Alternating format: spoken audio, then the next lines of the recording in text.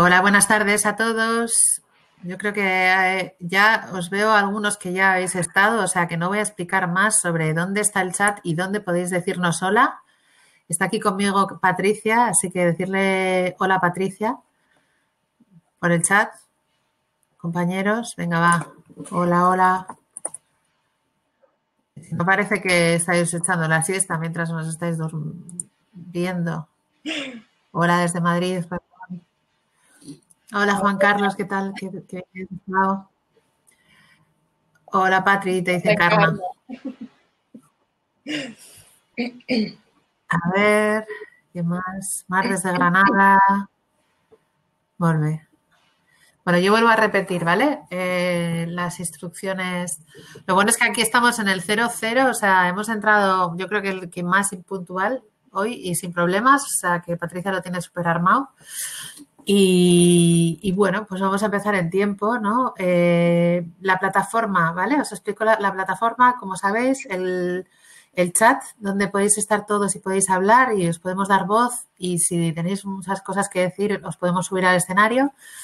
La mm, columna de preguntas donde podéis ir eh, em, dejando preguntas que Patricia puede responder al final de, ¿no? Al final o durante, que hemos quedado, hemos pactado que también durante vamos a, agarrar esas preguntas, pero que se pueden votar y, así podemos como ver cuáles son las de mayor importancia, porque igual todas no se pudieran, si, si todas no se pudieran contestar. Las encuestas, bueno, he dejado hoy la encuesta de siempre de si conoces Teamlabs o no, solamente para no alargarme, igualmente ya no me voy a alargar igualmente. Yo soy Berta Lázaro, soy cofundadora y socia del proyecto de Team Labs, que es un laboratorio de aprendizaje eh, donde nos obsesionamos por aprender y aprendemos en equipo y aprendemos de nuestros proyectos. Ahora en nuestro proyecto en común con Patricia y con un montón de instituciones distintas es Desafíos Comunes y estamos aquí ayudando en la asistencia de los talleres a los proyectos de desafíos comunes durante esta semana de intensidad y eh, también a los mentores y toda esta gente que se ha, puesto su disponibilidad para, el trabajo. Patricia está hoy con nosotros, hemos de, ¿no? se ha propuesto para hacer un taller sobre comunicación en red, ¿no? o sea, sobre activismo en red y comunicación digital. Eh, entendíamos que era súper importante para los proyectos que son de innovación ciudadana entender esta capa de la comunicación como una parte de la creación de la comunidad alrededor de, ¿no? alrededor de las causas que tienen estos proyectos, pero bueno, ella va a hablar de, ella es la experta. Eh, Patricia Rillo es, eh, ella es profesional de la comunicación, está enredada en muchas comunidades distintas, eh, en Wikisfera, ha estado en el, en el pasado también en Media Lab, ¿no? Y, bueno, con algún proyecto propio por ahí que dará luz en breve y es capacitadora, comunicadora y profesional de la comunicación. Así que eh, el, escenario es suyo, es más suyo que mío, a pesar de que esté igual. Así que ella compartirá y yo te dejo aquí y voy a asistirte en todas las preguntas que te estén llamando. Entonces estaré más ocupada del chat y de las preguntas, intentando lanzar con lo que comentes. Encantada de tenerte, Patricia. Así que nada, todo tuyo. Pues muchísimas gracias Berta y, nada, y bienvenidas y bienvenidos a todos los que os habéis sumado y os iréis sumando supongo eh, y lo veréis esto en diferido también después. Eh, bueno, eh, yo digamos que voy a compartiros una presentación, no hace falta, también os aviso, yo mm, esta presentación os la voy a pasar, luego hay una serie de notas que con información incluso más detallada que tengo idea también de compartir con vosotros para que no tengáis que andar ahora más que un poco atendiendo y, dándome una devolución y un feedback que me interesa más que, os quedéis con todo, porque evidentemente al final siempre en una presentación se condensa mucha información y a mí me interesan mucho más las interacciones, las dudas, las preguntas, eh, que, digamos que, estéis pendientes por quedaros con todo, porque son muchas cosas, ¿vale? hemos pactado, ¿no? O sea, solamente para, o sea, con Patricia hemos pactado que, que el chat en este taller, ¿no? En esta charla, webinar, la idea es que esté candente, o sea, que adelante y ya lo articularemos. Vale, así que os voy a compartir la presentación.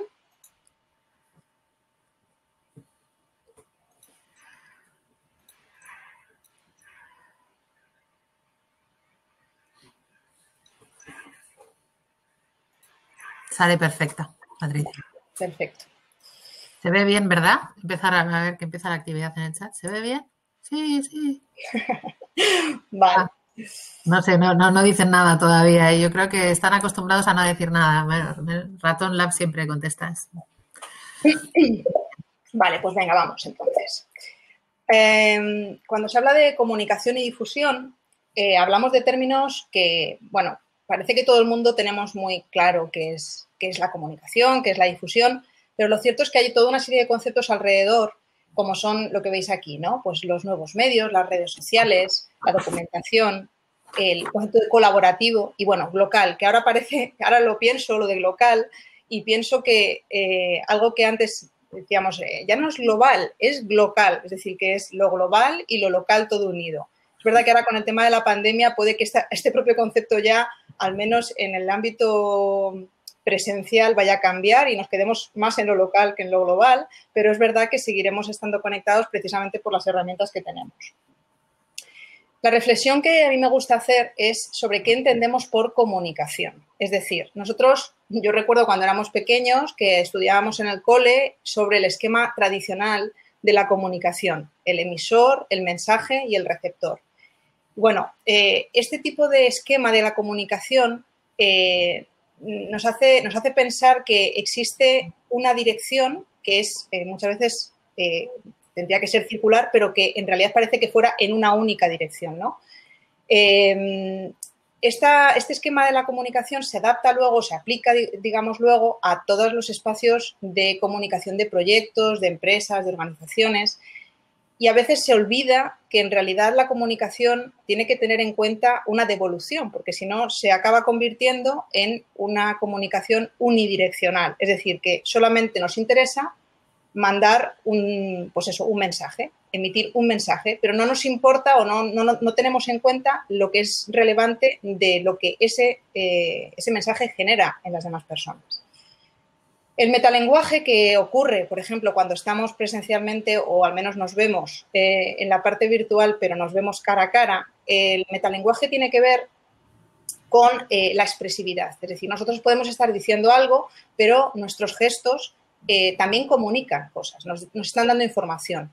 En el caso de la comunicación que hacemos de tipo escrita, por ejemplo, o a través de una imagen o a través de un vídeo, hay otro tipo de metalenguajes. Es decir, el metalenguaje se estudió al principio, cuando se analizaba la comunicación, solo en la presencia física o en la visual entre eh, las personas. Pero en realidad el metalenguaje existe en el ámbito textual también. Por ejemplo, cuando nosotros ponemos un, emoticono, en, un, texto que estamos eh, compartiendo, estamos añadiendo metalenguaje, es decir, no solamente es lo que está escrito, sino cómo, cómo introducimos el tono, digamos, la intencionalidad de ese, de ese mensaje que queremos dar con elementos complementarios. Y lo hacemos, en el caso textual, que es tan aparentemente árido, hemos encontrado una serie de elementos que nos permiten eh, incluir eso. Por ejemplo, eso, cuando ahora existen los, los emoticonos, pero si nos vamos al momento anterior, de, antes de emoticonos existía el, punto y coma y, o los dos puntitos y el paréntesis para hacer una sonrisa, que esos son, digamos, los proto-emojis, que luego se convierten en los emojis que tenemos ahora con colorines y de muchos tipos, ¿no? Eso sería el metalenguaje, por ejemplo, en el ámbito textual. Pero hay mucho metalenguaje en otros contextos, en el ámbito visual, en las fotografías y en el ámbito de los vídeos también. Es decir, el que haya música, por ejemplo, es metalenguaje, no, no, es nada inocuo, transmite también cosas, nos contextualiza. Luego existen muchísimos canales de comunicación. Hay muchas formas de entender la comunicación y muchas eh, maneras de utilizar la comunicación en diferentes espacios. Hoy vamos a analizar cosas relacionadas con, vuestros proyectos o con proyectos del ámbito del activismo, que puede ser en el que estamos inmersos con desafíos comunes. Eh, y bueno, al final hay, hay que ver qué canales tenemos para comunicar aquello que estamos haciendo en este momento.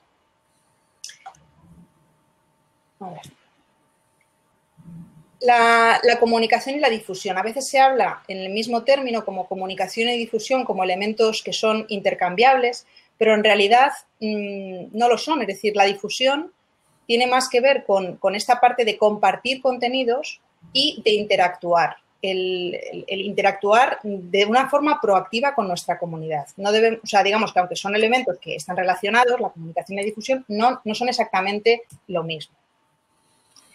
Y ahora un poco una reflexión sobre la comunicación interna. Los proyectos de todo tipo, proyectos pueden ser desde dos personas a una organización internacional, multinacional y con sedes en tropocientos mil sitios, la comunicación interna de cualquier proyecto, de cualquier iniciativa, es importante porque la comunicación interna nos va a dar un, digamos, un paso previo a lo que luego va a resultar la comunicación externa.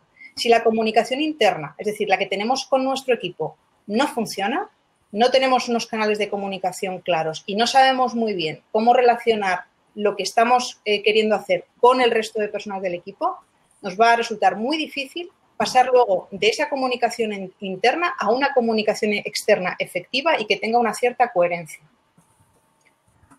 La comunicación interna eh, es para, pues, la que nos sirve para organizarnos, para ver qué herramientas, para organizarnos tenemos que ver qué herramientas utilizamos. Luego, cómo son de útiles o no las reuniones que, digamos, que establecemos para poder ponernos en coordinación con el resto de personas y luego también para hacer una vigilancia sobre el desarrollo del proyecto. Es decir, no solamente es importante establecer todo un marco de trabajo a nivel interno, sino también cómo ese marco de trabajo, que a lo mejor inicialmente parte de unas premisas, va evolucionando también viendo qué efecto tenemos y cómo funcionamos vinculado con el propio proyecto que estamos desarrollando. No podemos, digamos, mm, mm, separar una cosa de la otra, todo está muy relacionado. Para hacer una comunicación interna efectiva, tenemos que intentar localizar aquellas herramientas que nos hacen falta. un aviso que os hago con relación a todo lo que vamos a ver hoy. Hay muchísimas herramientas, muchísimas aplicaciones. Sería imposible ver todo lo que existe alrededor de todos estos temas, porque mm, cada día salen nuevos, eh, nuevos espacios, nuevas eh, ideas sobre cómo organizarse. Entonces, por supuesto, estas no son ni las únicas, las que yo os voy a comentar, ni son las únicas, ni son las más efectivas, ni son las que, las que tienen que ser válidas para vuestro proyecto. Yo os voy a dar ejemplos y estos ejemplos, lo que creo que es interesante es que los utilicéis para reflexionar si os hacen falta herramientas similares, que no tienen por qué ser estas, o para qué necesitáis una herramienta y entonces ahí sí localizar aquella que os haga falta, ¿vale? Entonces, por ejemplo, hay herramientas de gestión de proyectos. Yo os pongo una que es la que más he utilizado y la que me parece más intuitiva, que se llama Trello. Trello es una herramienta que nos permite organizar, por un lado, las tareas que tenemos que desarrollar en un proyecto, establecer tiempos de trabajo, es decir, asignaciones para que la, persona que necesite hacer una cosa tenga claro cuál es su, cuál es su tarea y que no quede difundido, difuminado todo lo que hay que hacer en ideas que quedan al aire. Em, esto, esto es súper importante porque, bueno, establecer tiempos quiere decir que nosotros digamos cuándo tiene que estar terminado algo para que realmente sea efectivo, para que funcione, que la asignación de responsabilidades tenga una implicación. Tú te haces cargo de esto, eh, tiene que estar terminado en esta fecha o en esta hora.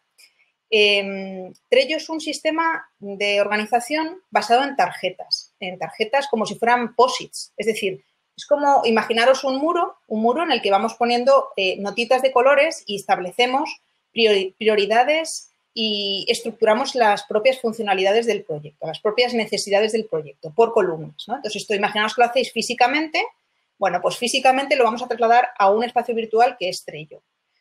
Y, y, que puede, digamos, estar conformado. Tú puedes tener un Trello para tus tareas personales, es decir, pues yo pongo un, me pongo posits con cosas que tengo que hacer. Entonces, tu Trello lo puedes usar exactamente igual, con posits tuyos, o puedes utilizar Trello con un equipo de trabajo. Un equipo en el que, digamos, todo el mundo tiene acceso a ese panel, a ese espacio, puede tanto crear eh, posits nuevos como eh, ir, ir, introduciendo información sobre los posits que ya están creados, o bien asignaciones, o bien eh, añadir información, o complementar, porque claro, estas, estas tarjetas que os digo que son como posits, se pueden hacer muy, muy complejas, con mucha información, o se pueden hacer súper simples, desde poner nada más que una palabra que te sirva de referencia, a hacer una información con enlaces a archivos, con imágenes que quieres vincular para que se vea sobre lo que se está trabajando, etcétera. Es un sistema de gestión de proyectos, pero hay, como os decía antes, miles de este tipo este es muy intuitivo. Si no habéis probado ninguno, yo os lo recomiendo incluso para tareas individuales. Os va a resultar muy práctico. Eh, es importante saber si es necesario o no una, aplicación de gestión de proyecto. Eh, a veces no es necesario, es decir, a veces la dinámica tiene que ser tan rápida y fluida que no da tiempo a establecer un marco de eh, qué tipo de actividades tenemos que hacer, qué pasos tenemos que hacer, cuáles son las fases, cuál es el calendario, porque a lo mejor tenemos que hacer algo en, el, en, el digamos, en un proceso muy, muy, muy breve de dos semanas, pongamos el ejemplo, entonces a lo mejor una, una, si no conocéis la herramienta, meteros a gestionar una, de cero una herramienta de gestión de proyectos supone tal esfuerzo que solamente en el tiempo dedicado a entender o a familiarizaros con una herramienta así, perdéis demasiado tiempo y necesitáis a lo mejor empezar a funcionar, ¿vale? Pero es, es un tipo de herramienta muy, muy sencilla, muy intuitiva y yo creo que muy práctica. Eh, Luis Hernando, por ejemplo, estaba lanzando la pregunta de trabajas con, gente voluntaria, que entiendo que es el caso de, ahora, ¿no? Em, y algunas tareas no se cumplen, ¿no? En los tiempos que se marcan, eh, ¿cómo Trello puede aportar a mejorar esa situación? Bueno, eso tiene más que ver con eh, un equipo en el que hay un, digamos, un grado de confianza y compromiso que más que la herramienta que puedas utilizar. Es decir, la herramienta al final es un medio para organizar eh, eso, la forma en la que nos vamos a, nos vamos a poner a funcionar. Pero claro, si tú tienes al final que, lidiar con gente que no sabe su grado de compromiso, pues a lo mejor tiene que haber varias personas que puedan asumir ese, ese, trabajo y no una sola, pero eso no, no tiene tanto que ver con la herramienta es una cuestión de relación de equipo y de las personas con las que puedes, puedes eh, digamos, delegar un, trabajo, una tarea. Sí, el, el, Trello al final lo que te hace es te mandar recordatorios como mucho, o, ¿sabes? Si lo tienen abiertos, pero bueno, te manda recordatorios para que tú puedas avisar a esas personas. Claro. solamente que sepas, Luis Armando, que en el, en el taller de, de, ayer, el webinar de ayer de facilitación de equipos, se propuso una herramienta precisamente de alineamiento del equipo para precisamente para, para intentar monitorizar o entender un poco también el nivel de compromiso y el nivel de bueno, de, dedicación, disponibilidad, alineamiento, visión sobre el proyecto, ¿vale? Para que, o sea, que tiene, Patricia dice eso, es que una cosa es la herramienta y otra cosa es la, la, gestión del equipo. Vale, luego eh, hay, un, hay toda una serie, digamos, de herramientas de comunicación inmediata que ahora mismo nos han facilitado mucho. Por ejemplo, en el caso de todo el proyecto de frenar la curva, estamos utilizando Telegram eh, pero muchísima gente utiliza WhatsApp y también está Hangout, que es también es un, se puede utilizar también como, herramienta de chat.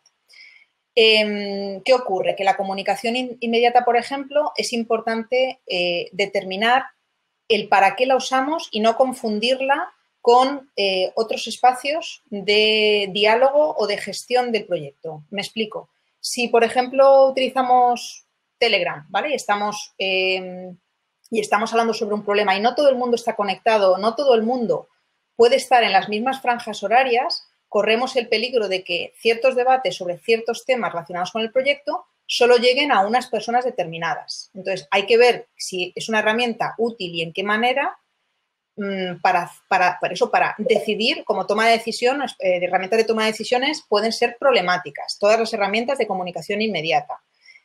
Em, luego, además, por ejemplo, no es un espacio recomendable para compartir archivos, porque si tú compartes un archivo por ahí y no se la persona que, digamos, tiene que cogerlo de repente se encuentra que tiene 200 mensajes cuando entra al grupo, digamos, al chat de grupo, pues el problema es que mm, va a, verse perdido en ese mar.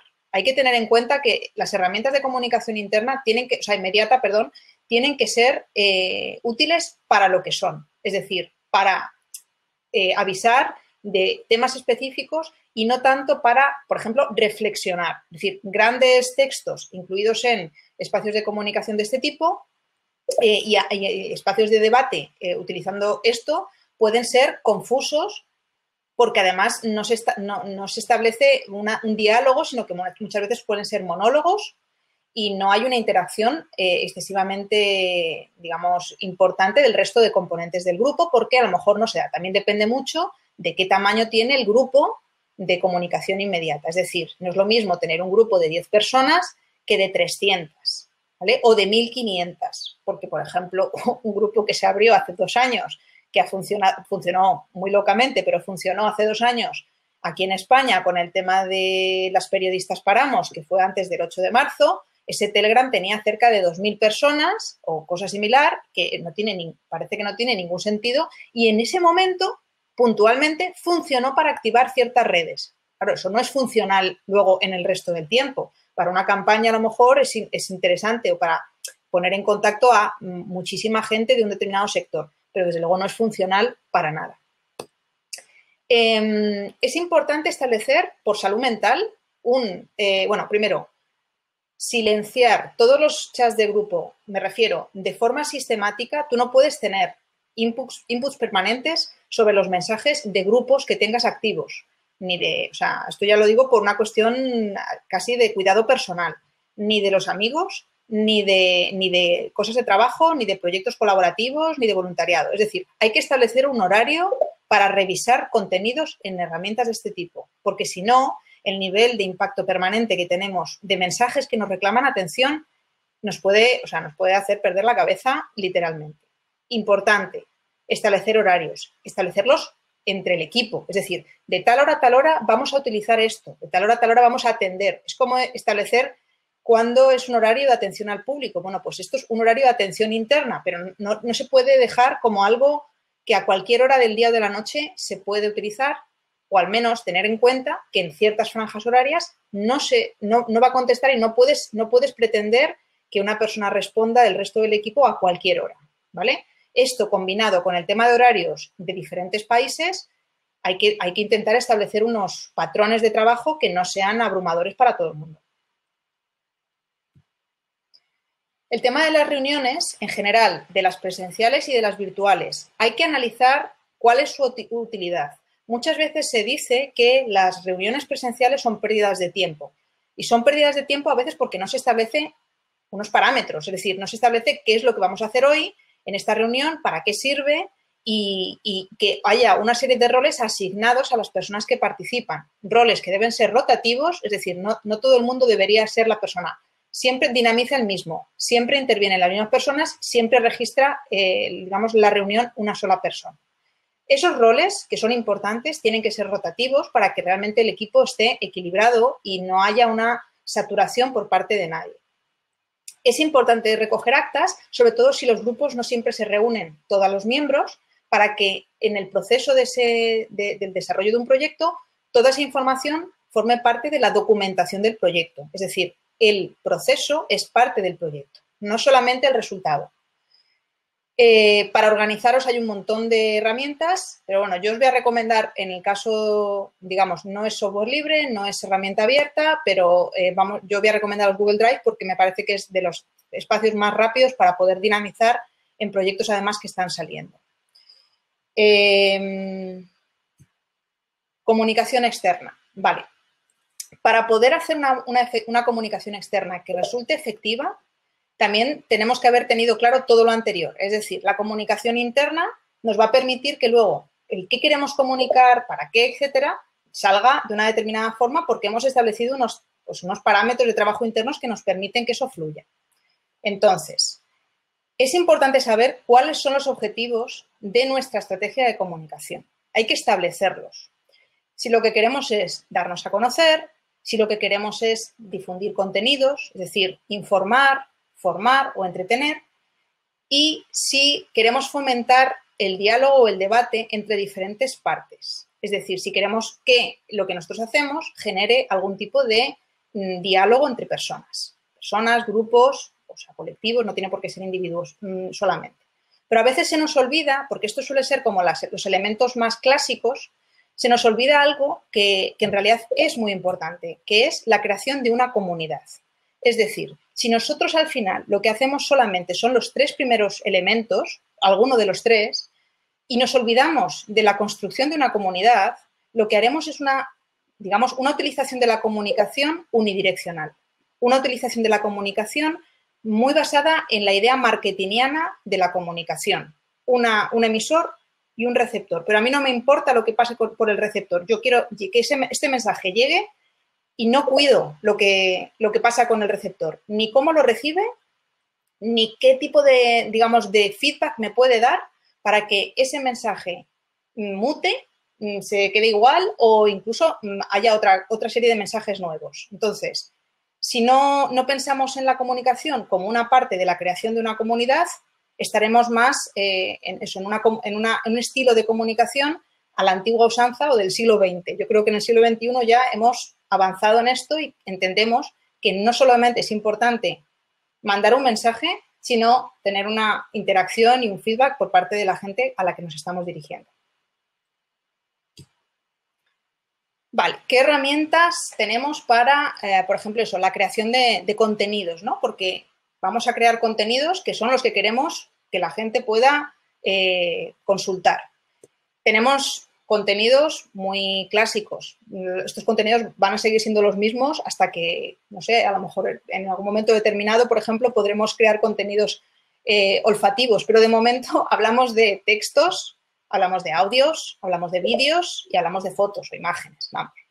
Eh, no tenemos otro tipo de contenidos que podamos crear de momento. Tenemos estos, que son desde hace mucho tiempo y siguen siendo los importantes. Todos estos contenidos se pueden crear de muchas formas. Hay muchas herramientas para crearlos. Hay que ver cuáles son las, herramientas que utilizamos para ellas, pero estos son los tipos, los tipos de contenidos, no hay más. Y existen unos contenedores de contenido, digamos, que son los más utilizados, como pueden ser WordPress, Blogger o Tumblr. Hay muchos más, pero los más utilizados son estos. De hecho, Blogger cada vez va más en, digamos, en decadencia porque WordPress ha ido copando todo el, prácticamente todo el sistema de, CMS eh, y Tumblr realmente no compite con WordPress porque es un formato totalmente distinto. En el caso de Blogger tenemos un, digamos, un sistema de blogs muy rudimentario que es muy intuitivo y para alguien que no tenga ni idea ni no se ha abierto nunca uno, es interesante hacer el experimento, aunque solo sea para saber qué es abrirse un blog y cómo funciona. En el caso de WordPress es súper accesible. Además, si tenemos la posibilidad de tener un servidor propio y de pagar un, un, una, perdón, un, dominio propio, eh, con WordPress además tenemos software libre y tenemos una cantidad de plantillas, algunas de, unas de pago, pero hay gratuitas que son fantásticas. Eh, y realmente es un sistema súper potente que nos permite hacer páginas eh, incluso sin, sin tener mm, demasiado conocimiento, de verdad de una forma muy, muy sencilla. No recomiendo herramientas de tipo Wix, por muy fáciles que aparentemente sean, porque son, son estructuras cerradas que no nos permiten modificar nada. Nos dan estructuras, eh, digamos, que ya están prediseñadas, sobre las que no tenemos ningún tipo de control. Personalmente, prefiero un blogger o un WordPress súper simple a, una página Wix de la que no tenemos ninguna posibilidad de, entender si hay un problema, cómo, cómo, podemos solucionarlo. Y luego es verdad que hay otros espacios de contenido que son los, las wikis. La Wikipedia es una herramienta que utilizamos de consulta, pero la Wikipedia no inventó la wiki, el sistema wiki, es decir, el wiki es un sistema de creación de contenido. Existen wikis internas, eh, wikis que sirven, por ejemplo, dentro de organizaciones para organizar el contenido de, pues de todo lo que, lo que a lo mejor puede ser importante en su institución, pues desde información sobre problemas eh, en el trabajo, eh, normas de comportamiento, un árbol de, de, quiénes son, quién es el quién de cada, de todas las personas de la empresa. Es decir, las wikis las hay de muchos tipos y son herramientas de desarrollo colaborativo, nos permiten eh, colaborativo y distribuidas nos permiten eh, editar en cualquier parte mm, y nos permiten actualizar contenido desde cualquier sitio. Esto es interesante, sobre todo en proyectos que queremos que tengan vida y que sean abiertos, es decir, que también sirven para, para, puedes instalarte una wiki de tipo interna, pero si hacemos un proyecto y queremos compartirlo, por ejemplo, hay wikis temáticas, de cosas, pues hay gente que es fan de Star Wars y entonces hace una wiki de Star Wars o de Harry Potter y crean información y crean, eh, digamos, contenidos que tienen que ver con aquello de lo que son fans. Eh, para proyectos se puede utilizar perfectísimamente y son sistemas de organización y de documentación, vamos, que son súper intuitivos y además, eh, útiles por lo que significa en cuanto a que son distribuidos y, y se pueden crear contenidos de forma colaborativa. ¿Hasta aquí todo bien? Vale. Mm, sí, pero sí. Vale. que os veo tan callados. Bueno, vale. En el caso de, los proyectos, proyectos nuevos que se crean, em, yo recomiendo la creación de una cuenta propia del propio proyecto. Es decir, em, y aquí eso, ya sé que Google, vamos a, si nos ponemos puristas, pues no utilicemos nada de Google, busquemos software libre, alternativas. No digo que no, pero yo voy, digamos, a un terreno muy práctico y es qué estamos haciendo, qué necesitamos y cuál es la rapidez con la que podemos hacerlo. Em, Google nos ofrece una cuenta de correo que podemos crear en el mismo momento que nos permite centralizar la comunicación. Esto no implica, por ejemplo, que no tengamos una web propia con un dominio propio y un correo electrónico tipo info eh, podemos derivar los correos de, un proyecto que tengamos con su propia URL, con su propio dominio, podemos derivarlo a la cuenta de Gmail que hagamos del proyecto, porque nos permite de esa manera centralizar la comunicación para que en un proyecto, además que pueden intervenir varias personas, todo, esto que vayamos a hacer quede en un mismo lugar. Porque si no, ¿qué ocurre muchas veces? Que cada uno va haciendo documentos y cosas desde sus cuentas, no existe un lugar de centralización y un momento que a lo mejor en, el proceso del proyecto hay gente que va o viene, es decir, gente que se cae del proyecto, gente que entra nueva, no tenemos manera de tener una estructura, digamos, de trabajo única con toda la información de ese proyecto. Y perdemos documentación sin saberlo muchas veces porque no tenemos control sobre todo lo que existe. Entonces, para evitarnos eso, hagamos esto desde el principio. Creemos una cuenta de Gmail que nos permite tener, por un lado, ese correo centralizado que nos va a permitir varias cosas. ¿vale? Ahora vamos a, ir vamos a ir viéndolas, pero nos va a permitir varias cosas. El hecho de que con la cuenta de Gmail abrimos lo que tenemos, eh, eh, lo que se llama el Google Drive, que es un espacio en el que podemos tener documentos compartidos. Estos documentos compartidos, que hay de muchos tipos, eh, nos van a permitir, por ejemplo, tener un clipping de prensa que nos permita ir actualizando la información sobre todos esos lugares en los que nuestro proyecto haya sido nombrado.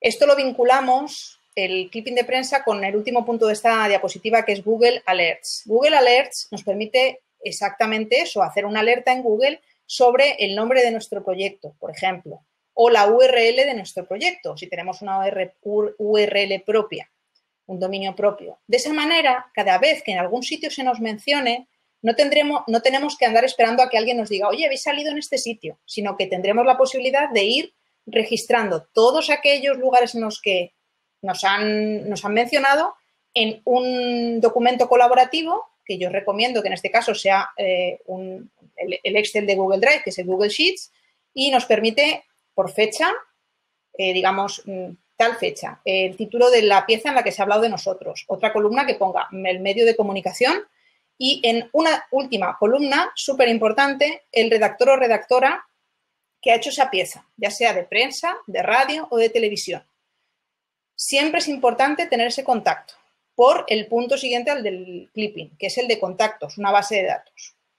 Un proyecto con una buena base de datos, con contactos, nos va a permitir muchas cosas.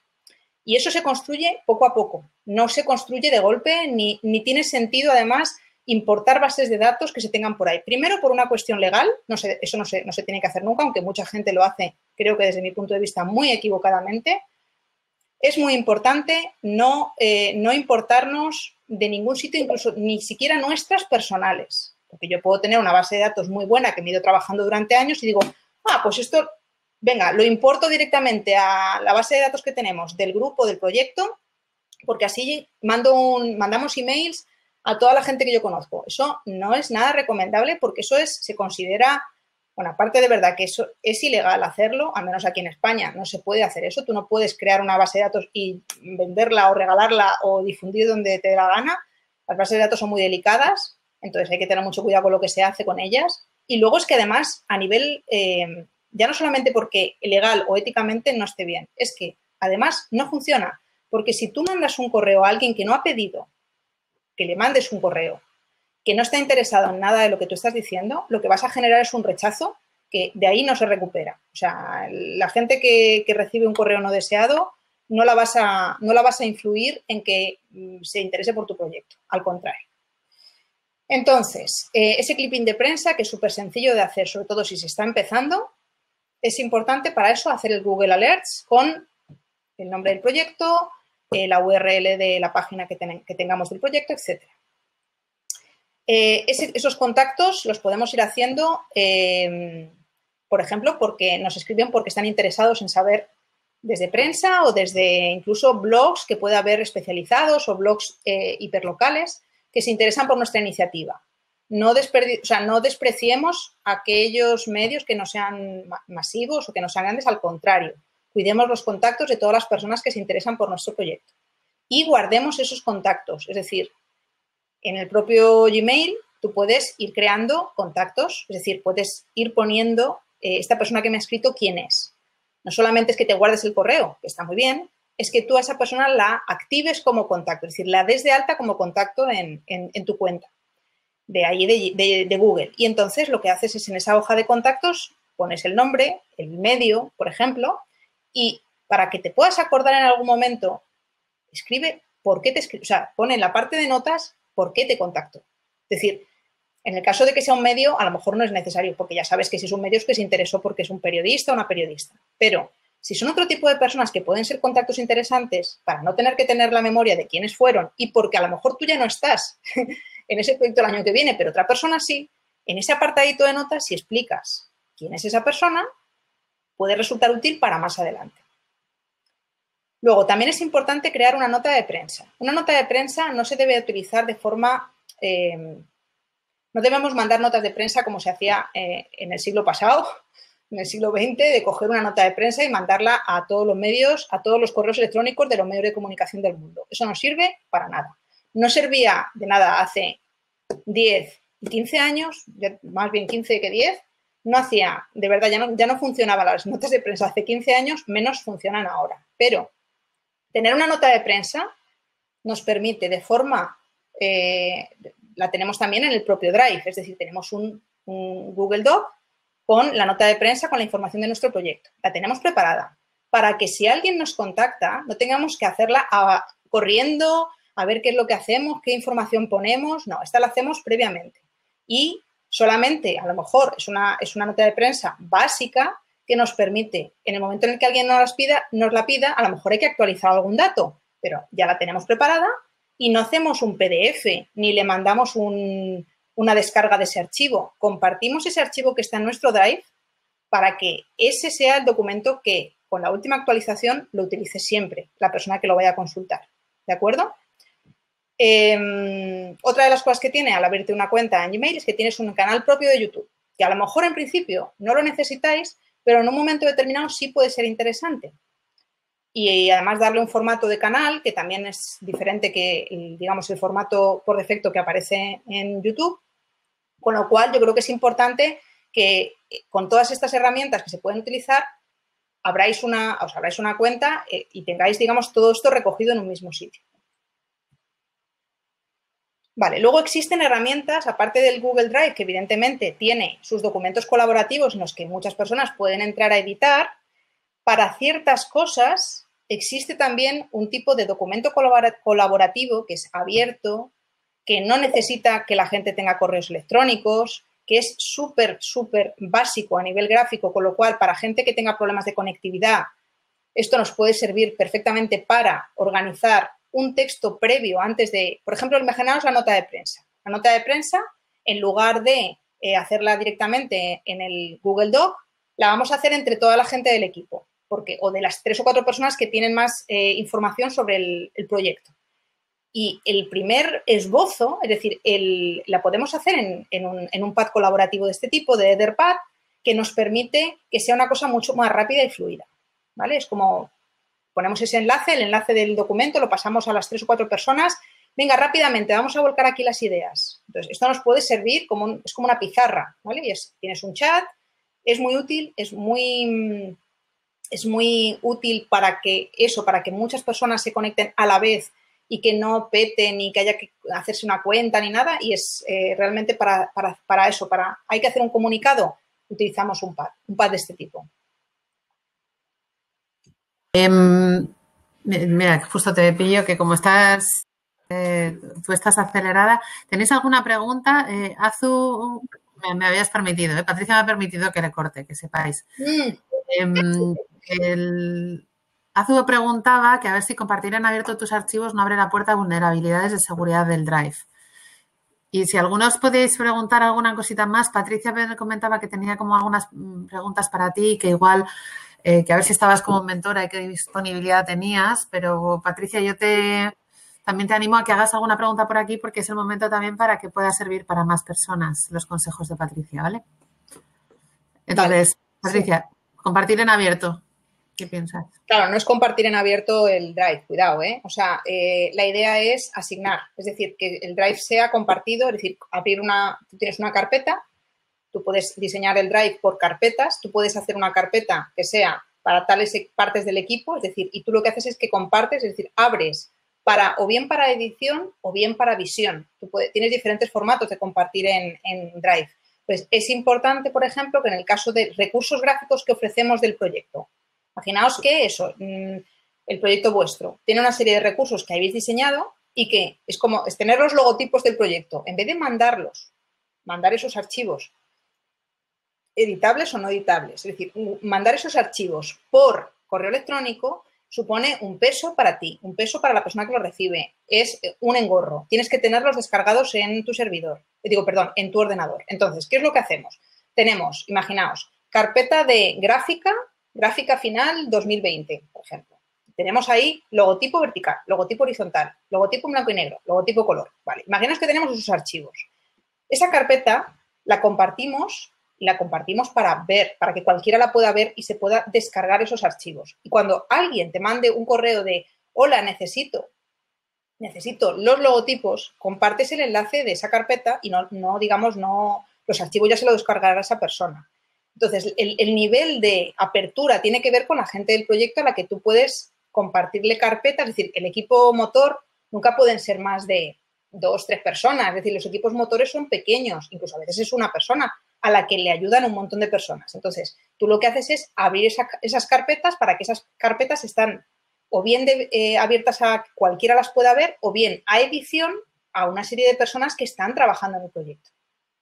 También puedes darles paso solamente a correos electrónicos específicos, de forma que solamente personas que tengas un control sobre ellas, me refiero no sobre las personas, sino sobre su implicación en el proyecto, tienes su correo electrónico y les das permiso para que editen los archivos. Con eso, más o menos, digamos, para que el nivel no, es apertura para lo que sea, compartir en ver, lo podéis hacer en apertura completa, es decir, los archivos de imagen de vuestro proyecto no tienen por qué estar cerrados, podéis abrirlos que cualquiera pueda entrar. Hay otro, Luis Fernando pero comenta sobre los derechos de autor de los contenidos.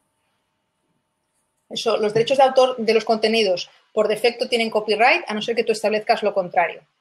Eh, en cualquier cosa que hagáis. O sea, desde una. O sea, todo lo que hacéis, todo lo que se hace a, cualquier nivel, si tú no, especificas que es un contenido con una licencia copyleft, eh, todos los contenidos por defecto son consideradas obras con copyright. Eh, ah, con respecto a lo de que me decías que Patricia. Vale, eh, yo no soy mentora, yo estoy llevando la comunicación y difusión de Frena la Curva y ahora estamos esta semana además con el proyecto de, o sea, con el festival que, que tenemos el sábado eh, o sea, no tengo horas, no tengo horas ni para dormir ni para comer, o sea que sintiendo no, va a estar con vosotros también algunos, o sea, va a hacer parte, va, a hacer parte de la comunicación general de, todos vuestros proyectos, o sea que. Ah, y además yo voy a hacer la relatoría de todos los proyectos que estáis desarrollando. O sea, que va a estar. Pero bueno, igual. pero no como para resolver dudas, no, no voy a poder estar. No, una, una no va a poder. Pero bueno, Patricia se ha animado y las, las, ha, las ha colgado aquí. Eh, para involucrar necesito... Ahora buscamos... Comparto dudas por aquí. Nuestros contextos son rurales. Es el proyecto de ODS rural. Ahora buscamos mantener contacto con ellos. ¿no? Con la gente. Utilizamos WhatsApp para involucrarlos en algo más colaborativo de subir audios, textos sobre lo que están viviendo en tiempos de confinamiento, etc. ¿Qué recomiendas? Nos han recomendado abrir grupos de Facebook, pero no sabemos si es buena idea. Algunos opinan que es una plataforma en la que ya está mucha gente. ¿Tú qué opinas?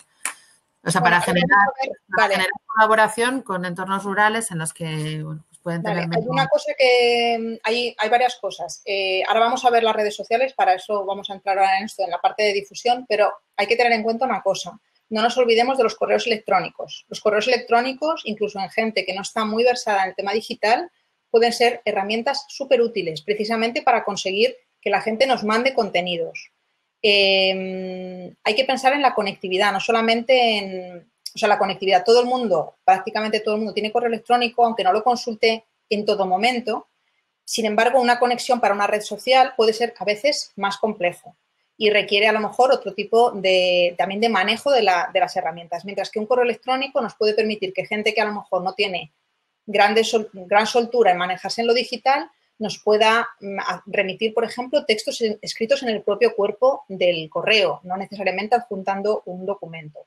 El tema de WhatsApp me parece, vamos, lo está haciendo mucha gente, el tema de WhatsApp es súper, súper, súper importante para todas estas personas que no tienen incluso a lo mejor ni ordenador en casa, que os puedan remitir vídeos o audios o incluso textos por WhatsApp, que vosotros podáis recopilarlos, es súper importante en estos contextos. O sea que, vamos, me parece tan acertado lo de WhatsApp que lo único que os diría es también que no lo del tema del Facebook, ahora vamos a ver eh, el tema de las plataformas, pero tened en cuenta esto y analizar también, claro, pros y contras de, abrir una red social con gente que a lo mejor no está acostumbrada a usarla.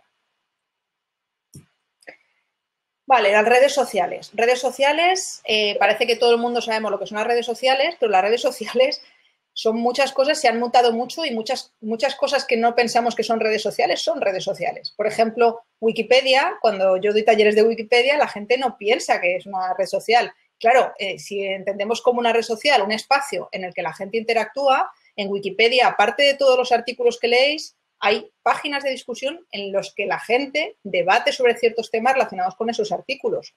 Por lo tanto, también no solamente por esa discusión, sino por comunicaciones que hay que están, digamos, relacionadas entre em, eh, propios autores, editores, editoras que hay en Wikipedia, es considerado una red social. Es decir, se puede considerar parte de, lo que es Wikipedia como una red social. Redes sociales son mm, todas, todas las que hay muchísimas redes sociales que evidentemente aquí ni las vamos a mencionar, pero yo os voy a hablar de las principales, por decir así, por las, que tienen más peso y más eh, extensión eh, ahora mismo a nivel mundial. Pero evidentemente hay redes sociales específicas, incluso temáticas, que pueden ser importantes para eh, proyectos concretos. Es decir, aquí no estoy, no estoy haciendo ningún tipo de explicación sobre redes sociales, que las hay de temas específicos y existen y funcionan, porque en realidad si tenéis proyectos que no, no, necesitáis realmente que sean masivos, sino que lo que queréis es que impliquen a un tipo de gente que está muy relacionada con ciertas temáticas, hay redes sociales por temas y eso, aunque sean de muy poca gente, son a veces dar el tiro donde nos corresponde, es decir, dónde está la gente con la que podemos crear una comunidad. Vale, vamos a ir viendo estas seis redes sociales, son casi menos 10, voy a ir rápido. A ver, tenemos eh, el caso de Twitter. Twitter es una, es una red social que ha mutado, ha mutado muchísimo, igual que han mutado todas, porque eh, en este momento eh, digamos, prácticamente hay una serie de elementos que se van solapando entre ellas. Y hablo, ahora mismo en este momento estoy hablando fundamentalmente de las tres que tenéis encima, de Twitter, Facebook e Instagram, ¿vale? Eh, Twitter empezó siendo una herramienta, nada, muy, muy, una herramienta muy sencilla que, en la que solo se podían escribir unos mensajes de un máximo de 140 caracteres.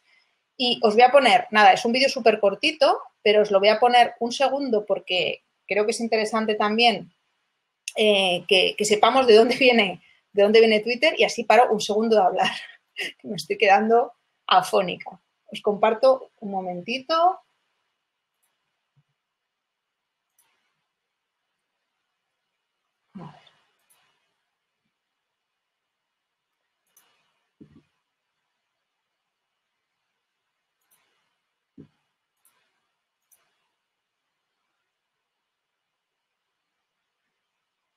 Ahí se ve.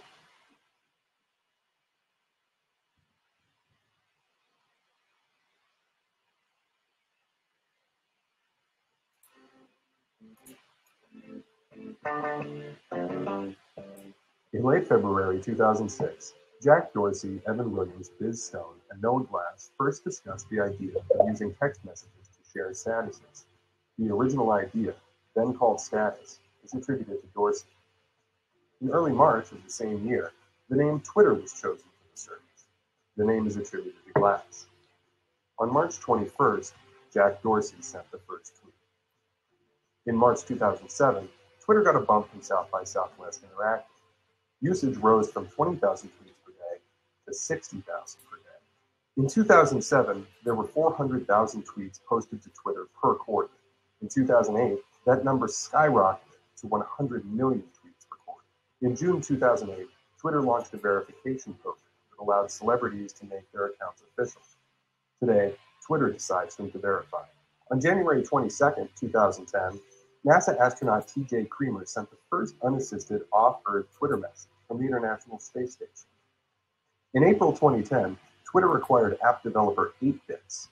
Today, Twitter has mobile apps for iPhone, iPad, Android, Windows Phone, BlackBerry, Firefox OS, and the Nokia S40. September 2010 saw the rollout of New Twitter. All told, it was the largest single update to Twitter's interface at that time. Here's a look at Twitter's growth from March 2008 through September 2011. In June of 2012, Twitter revealed a redesigned bird logo. Originally known as Larry the Bird, the icon is now just called the Twitter bird. According to designer Douglas Bowman, the logo resembles a mountain bluebird. On November 7, 2013, Twitter opened on the New York Stock Exchange with a valuation of around $31 billion after a day of trading. In February 2014, Twitter began testing a major profile redesign, reminiscent of Facebook and Google Plus layout designs.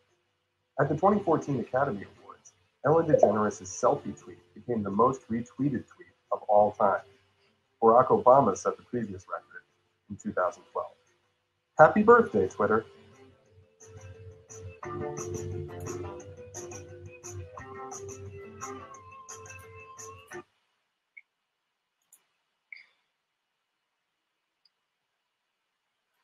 Vale.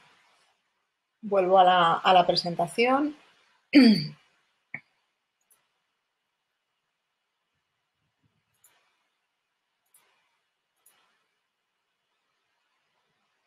Vale, lo interesante es que, o sea, Twitter en muy, en en muy poquito tiempo, es decir, realmente eh, son herramientas que han tenido muy poco recorrido histórico realmente, ha mutado. Es decir, Twitter nace con una idea muy, muy simple con mandar mensajes de tu estado, es decir, qué es lo que te está pasando, y Twitter se ha convertido en una herramienta que sirve para muchas cosas y, por ejemplo, en el ámbito de, de la comunicación, del periodismo, es, digamos, es el lugar, es el lugar, eh, claramente. Hace 10 años, con el tema del 15M, eh, los periodistas o muchos periodistas no estaban, ni sabían lo que era Twitter, ni les interesaba y fueron los movimientos sociales los que articulando eh, difusión de contenidos en, en, en, Twitter de una forma totalmente intuitiva. Nadie había previsto que Twitter fuera utilizado para coordinar, para coordinarse, por ejemplo, acciones eh, de protesta o tal. De repente Twitter se convirtió en un, lugar en el que ponía, o sea, se ponía en agenda setting, es decir, en la, las importancias, o sea, los, elementos que consideraba la prensa importante en un momento, desde los movimientos sociales y siendo muy poca gente, Twitter consiguió hacer, hacerse de catapulta, digamos, para que se utilizara eso, eso que estaba pasando en Twitter, en las redes, que se estaba difundiendo, lo utilizaban los medios de comunicación para hablar eh, sobre esas temáticas, ¿no? Entonces, Twitter eh, ha, mutado, ha mutado y es interesante ver por qué ha mutado. Eh, antes era solo texto y además era un texto muy breve, 140 caracteres. Y nos, daba texto, brevedad, inmediatez, que es lo que es Twitter. Twitter es una especie de mar en el que tú tienes un flujo de, de, de interacciones permanentemente. Todo depende de a cuánta gente sigas, evidentemente, pero puedes incluso seguir a poca gente, pero entrar en los hashtags, en, es decir, en los temas del día y conocer a gente y conocer eh, información que se está dando sobre una temática. ¿Qué pasa? Que Twitter ha crecido, Twitter eh, ahora ya introduce un texto más largo, te, te puedes, ya te puedes ir eh, a un texto mucho más, más extenso y aparte puedes crear hilos, es decir, puedes enlazar unos tweets con otros para que haya una especie como de flujo continuo de información sobre una temática específica, con lo cual la narrativa ha cambiado. Incorpora imagen, incorpora vídeo. Antes la imagen restaba espacio a los 140 caracteres, ahora la imagen no resta espacio a los caracteres. También eh, puedes subir vídeo de hasta 2 eh, minutos 40 segundos, creo que es el tope. Eh, es interesante porque puedes hacer menciones, es decir, puedes mencionar dentro del tweet a personas que están en, Twitter, bien para que vean qué es lo que estás haciendo pero también para que, para, pues si a lo mejor forman parte de, tu, de, algo que vas a organizar para que pueda compartir con sus propios seguidores esa información. Puedes etiquetar a personas en las imágenes, hasta 10 personas en una, foto. Eh, una cosa importante en, general para todo, pero en particular, o sea, en redes sociales, en general para todas las redes sociales, pero en particular para Twitter. Calidad mejor que cantidad. No se trata de tuitear eh, 200 mensajes, ni se trata de hacer eh, tweets eh, de cualquier cosa. Se trata de pensar qué es lo que queremos contar en la comunidad que estamos generando, qué es lo que queremos compartir e interactuar y responder a las menciones y a los comentarios. Es decir, es mejor hacer menos tweets, pero que tengan un sentido. Y atender, por ejemplo, a los mensajes por privado. Si es una cuenta de proyecto, los mensajes por privado deberían estar abiertos para cualquiera, para que no tengan necesidad de que haya un seguimiento, es decir, que tú sigas y te siga para que te pueda mandar un mensaje. Entonces, la configuración de la cuenta de Twitter, importante, abrir los mensajes para que cualquier persona pueda escribiros. Es una forma de abrir también a, gente que no conocéis la posibilidad de que os consulte. No quiere decir que toda esa apertura sea siempre en pos de una comunidad muy, muy grande, pero pero bueno, que sepáis que es una manera de, hacerlo y que es importante facilitar que la gente se, pueda comunicar con vosotros. O sea, voy a ir es que son, ya quedan tres minutos. Iba a decir, Patricia, sí, que te quedaba muy poquito, no sé si, ¿cómo te quieres arreglar? Podemos arreglar, o sea, podemos, cinco minutos más podemos estar, pero no... No, claro, es que en realidad, o sea, iba a analizar un poco toda, claro, todas las redes sociales. Voy a reducir, o sea, voy a hablar fundamentalmente de Voy a dejar Facebook porque Facebook en realidad yo creo que lo que tiene es que las comunidades son un poco, digamos, yo creo que es mejor hablar de Instagram en este momento por una serie de características propias que Facebook yo creo que ya lo conocemos todos mejor y las demás las dejo. Entonces, importante, Instagram es muy importante y en este momento de confinamiento más. ¿Por qué? Por una cosa que está ocurriendo y es que eh, ahora mismo los directos que son de un máximo de una hora en Instagram están permitiendo hacer encuentros entre un máximo de dos personas, puedes hacerlos tú solo, pero puedes invitar a alguien y es la, mitad de la pantalla. Son desde el móvil, eso sí, no se pueden hacer desde el ordenador, pero están facilitando, por ejemplo, que mucha gente eh, haga diálogos eh, sobre temáticas, sobre temáticas que la gente esté interesada en escuchar, ¿vale? los proyectos que estáis haciendo seguramente son susceptibles de hacer este tipo de encuentros, este tipo de directos. Eh, Instagram, que nació como una red social frívola, absolutamente frívola, y de la que muchísima gente como yo mm, decíamos, ahí no me meto, admito que en este momento, mm, desde todo el tema del confinamiento, Instagram se ha convertido en un lugar mm, productivo, de, me refiero, de productivo positivo de espacio de encuentro y espacio de diálogo desde un, buen rollo que, por ejemplo, en Twitter no existe ahora mismo. El Twitter se ha convertido en el espacio tóxico por excelencia, en el que hay eh, más difusión de bulos y de bilis y de mm, ataques permanentes. Instagram es otro espacio y no, digamos, yo creo que está perdiendo fuerza la parte de frivolidad pero sí se está manteniendo una comunidad muy, eh, muy buen rollera. Y eso ahora mismo también hace falta en el momento en el que estamos viviendo. Están las stories, que son efímeras, también los directos lo son. Quiero decir, eh, hay una parte aquí también es, a, nivel conceptual es importante. El tema de lo efímero, pero fresco, por, por delante de la documentación de todo. Es verdad que los directos se pueden grabar, es verdad que las stories ahora también se pueden grabar, pero el concepto de efímero, que para mí era algo muy loco, ahora eh, en, este, en este mundo, em, en este momento preciso y en, este espacio, en esta red social, es interesante también. Pegas, no se pueden poner links porque no funcionan los links ni, ni se puede copiar texto en, las, en los posts que ponéis en, Instagram. Eh, solo se puede poner un solo link que es en el perfil de usuario. Entonces, ese link le podéis actualizar en función de ciertas necesidades, pero solamente se puede poner ese link. Em, evidentemente, imágenes tal, YouTube lo dejamos, WhatsApp lo dejamos, LinkedIn lo dejamos. ¿Qué me dices de TikTok ahora? Bueno, es que... Pero no, no, no, hace falta, no Tenemos tres minutos. ya TikTok ya no, ya no puedo meter. Hay, hay herramientas de gestión y planificación de redes sociales, pero eh, es importante que tengáis en cuenta que mm, a veces es mejor desde Facebook eh, editar, crear posts y programarlos desde el propio Facebook, porque todo el mundo va a llegar ahí, digamos, los puede modificar, etcétera. Y en Twitter hay cosas que no se pueden hacer desde ninguna plataforma, como por ejemplo etiquetar o hacer hilos. Entonces, ni TweetDeck ni Hootsuite os permite esto, que es interesante en, el caso de Twitter, por ejemplo, el poder etiquetar o el hacer hilos. Para otras cosas de planificación eh, son útiles. TweetDeck solamente es para Twitter, Hootsuite tienes para diferentes redes sociales. Y que no se nos olvide, que esto es lo último que, antes lo he comentado, el tema de los correos electrónicos. Los correos electrónicos son una herramienta de comunicación súper importante. Tener una una buena base de datos y, por ejemplo, un boletín o newsletter.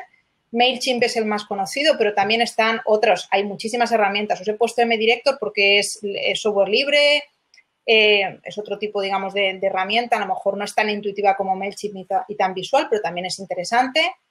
Y también están las listas de correo. A veces las listas de correo también son muy útiles. Cuando tenemos un grupo de 100 o 200 personas, una lista de correo nos puede servir para tener una, una comunicación fluida y no a través de correos electrónicos, ¿vale? Eh, en, la gestión de Google Groups, por ejemplo, nos permite ir añadiendo cuentas de correo y desde un mismo lugar tú tienes que escribir solamente ese sitio y le llega a todas las personas que están incorporadas en esa lista de correo, con lo cual también resulta eh, muy útil. Y ya hasta aquí, lo siento por haberme alargado.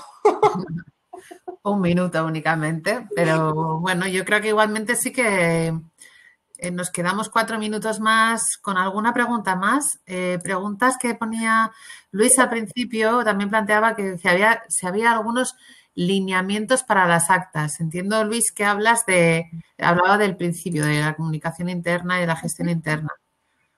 ¿No, Luis? ¿Puedes...? Sí, sobre todo porque no entiendo lo que quiere decir con lineamientos, perdón. Sí. Por eso yo tampoco, yo entendí, o sea, igual es para alguna cosa cuando estabas hablando del Trello y la comunicación interna y la gestión interna del mm. proyecto, ¿sabes?